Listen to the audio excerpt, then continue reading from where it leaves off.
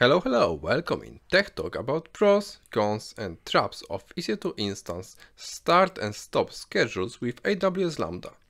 Managing EC2 instance efficiently through automated start and stop schedules is a best practice for optimizing cloud resources. By using AWS Lambda functions and tags on EC2 instances, you can automate the process and save on costs.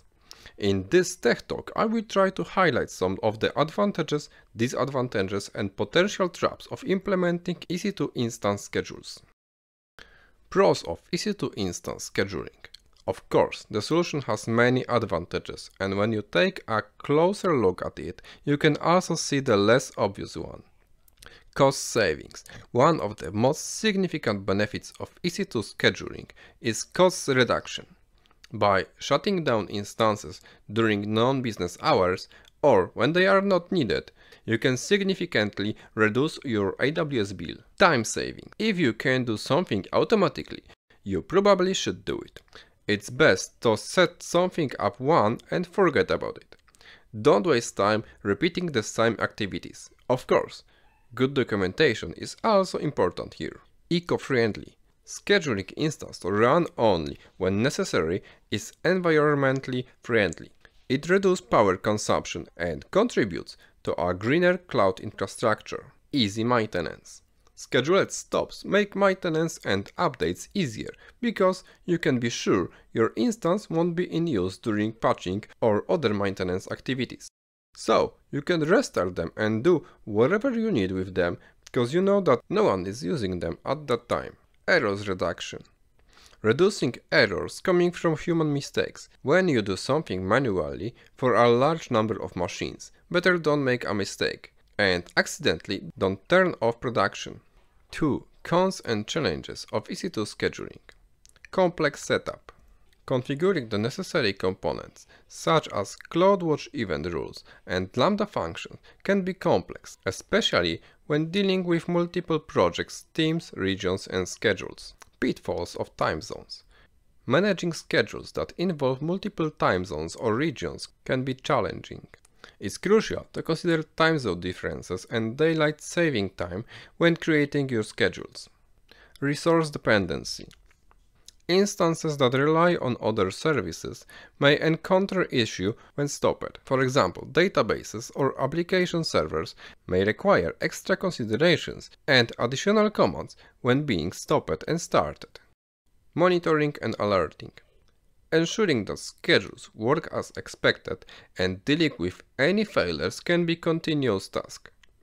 Proper monitoring and alerting are essential to maintain the system. It's good to know whether the running instance is working properly. Potential traps to avoid. Forgetting critical instances. Failing to tag all relevant instances or forgetting to include specific instance in your schedules can lead to unexpected downtime or increased costs. Complex schedules. Overly complex schedules with numerous rules and exceptions can become difficult to manage and troubleshoot human error. As I mentioned earlier, misconfigurations in your Lambda functions or CloudWatch event rules can have unintended consequences. So it's essential to truly test your setup. Complicated environments. Sometimes it's important in what order you turn the services off and on.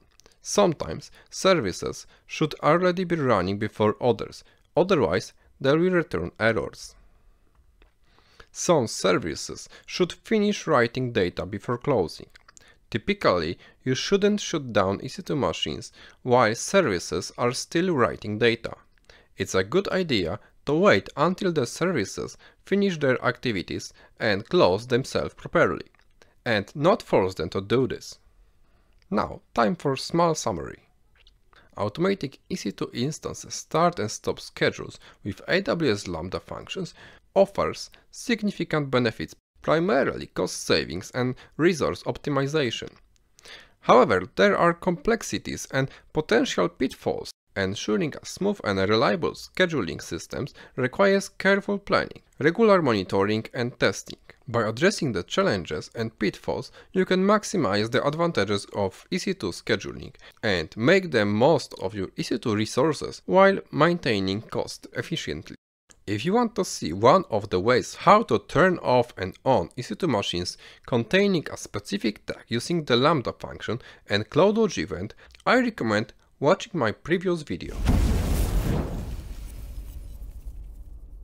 I encourage you to subscribe and comment YouTube videos, of course if you like them. Thanks to this they can reach more people and I am motivated to create more videos.